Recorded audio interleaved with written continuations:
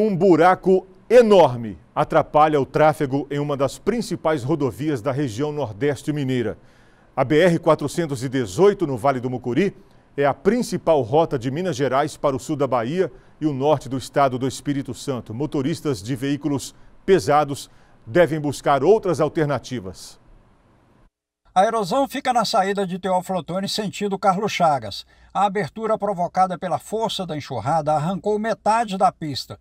Equipes do DR isolaram o trecho. Somente um veículo por vez passa pelo acostamento.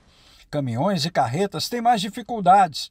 A Polícia Militar Rodoviária diz que o buraco foi protegido para evitar acidentes com usuários.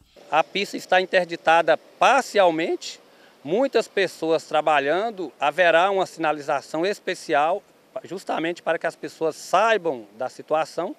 A Polícia Militar Rodoviária também estará acompanhando a todo o tempo e nesse momento nós precisamos muito dessas informações repassadas pela imprensa à sociedade, justamente para que muitas pessoas, em caso que não seja de urgência, evitem o local. A MGC 418 recebe uma média de 6 mil veículos dia sentido sul da Bahia, norte do Espírito Santo.